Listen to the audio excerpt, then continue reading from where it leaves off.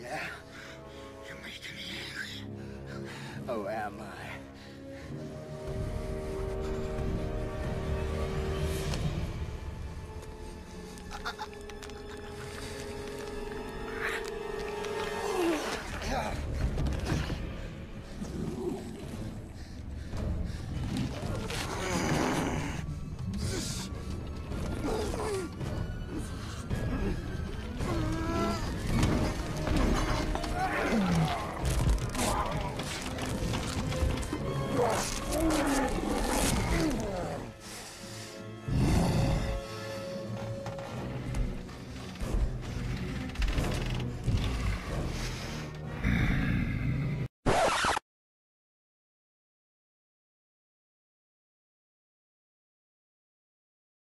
Hello everyone.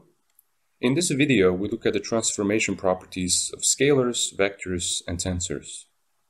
A scalar, or more generally, a scalar field, is a field that associates a single value to every coordinate point.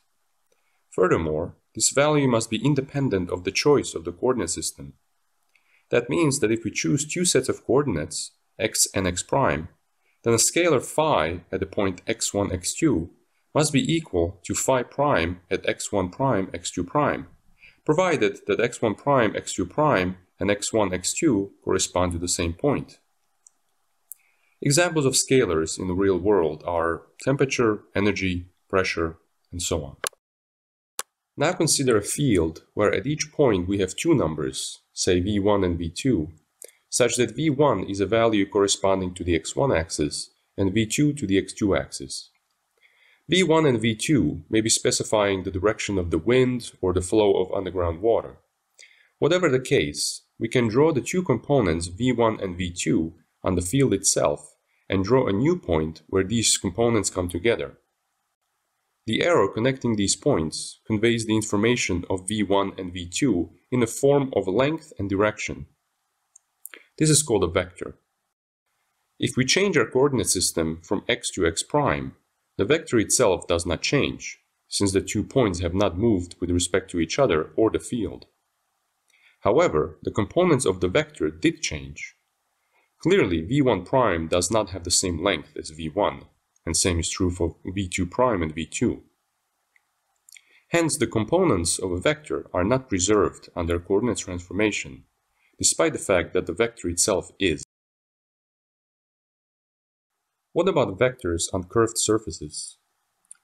Consider as an example the infinitesimal distance vector derived in a previous video on the covariant derivative. Link is in the description box. Recall the definition of the basis E. E1 is the partial derivative of the vector y with respect to x1. Similarly, E2 is dy over dx2. Since the vector y defines a point on a surface and changing the coordinate system from x to x prime does not shift the point with respect to the surface, y is therefore preserved under coordinate transformation. Hence y of x equals y prime of x prime, where for brevity we let x stand for x1, x2, and same for x prime. Since the coordinate system x and x prime are equally valid, there must be a one-to-one -one correspondence between them. In other words, x can be written as a function of x prime and vice versa. Getting back to the bases.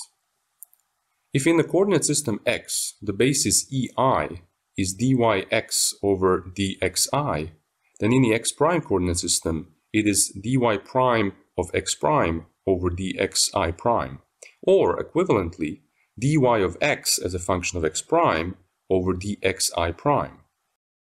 By virtue of partial differentiation, this is equal to dy of x over dxk times dxk over dxi prime, where k is summed over.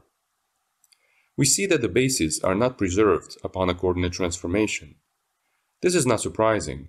The bases always point in the direction of the local coordinate axes. So if the direction or scale of the coordinate axis change, so will the bases. Applying chain rule to the infinitesimal step dxi prime leads to dxi over dxk times dxk. We now have all the ingredients to find out how the infinitesimal vector ds changes under a coordinate transform. In the prime coordinate system, ds prime equals ei prime dxi prime, which in terms of the unprimed e and dx equals to this. It looks like the vector ds prime is different from ds, which is disconcerting.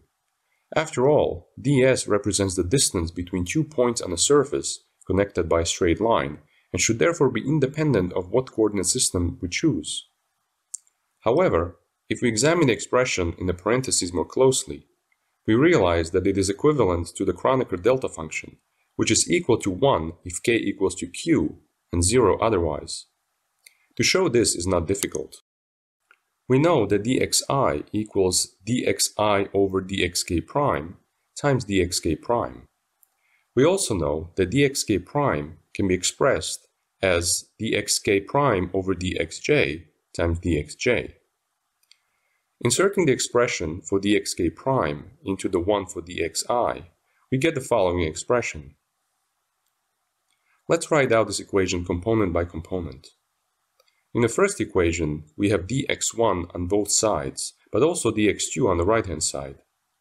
Since dx1 and dx2 are independent of each other, the only way this equation can be true is if this object is 1 and this object is 0. And same applies to the second equation which leads to our original claim. Getting back to ds prime, we see that it is in fact equivalent to ds. As expected, ds is invariant under coordinate transformation. Notice that the transformation matrix of E prime has the unprimed coordinate in the numerator and the primed coordinate in the denominator. The converse is true for dx prime. Any object that transforms like E prime is called covariant. If it transforms like dx prime, it is called contravariant. To distinguish them, we use lowercase indices for the former and uppercase indices for the latter. Summing any covariant object together with any contravariant object produces an object that is invariant under coordinate transformation, whether they be a scalar, vector, or tensor. I will have more to say about tensors in a later video. Knowing the transformation properties of scalars, vectors, and tensors is important in many applications. For example, if you hypothesize that the tensor component aij is proportional to another tensor component bij, a quick way to check whether they are compatible is to look at how they transform. If one transforms covariantly and the other contravariantly, your hypothesis is wrong. Wrong!